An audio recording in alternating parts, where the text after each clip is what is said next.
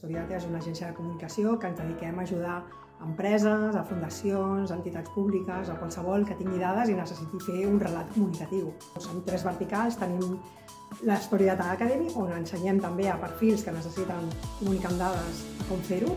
Després tenim una part que treballem molt amb administració pública, on ens ajudem a fer, per exemple, visualització de dades o informes. I després tenim una part que és més el nostre ADN, que és ajudar a mitjans de comunicació que no tenen perfils com el nostre a fer periodisme de dades. Per nosaltres el segell UPF és importantíssim pel nostre ADN, perquè nosaltres hem sortit aquí, jo sóc alumni de la UPF, i també perquè vam estar doncs, durant dos anys incubades al projecte en residència de l'àrea de Lles. Tenir el segell UPF doncs, a la nostra web doncs, és símbol de qualitat i símbol sobretot de prestigi.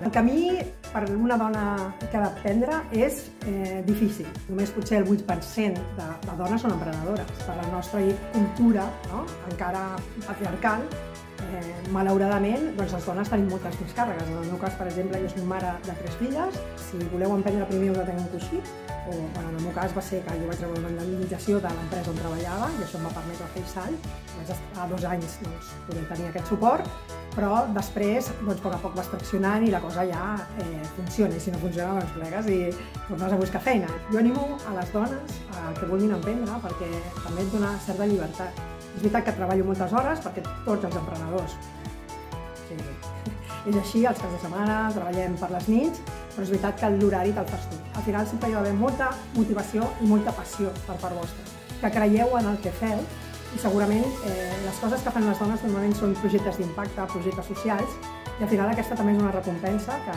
és la que ens fa continuar i tirar endavant.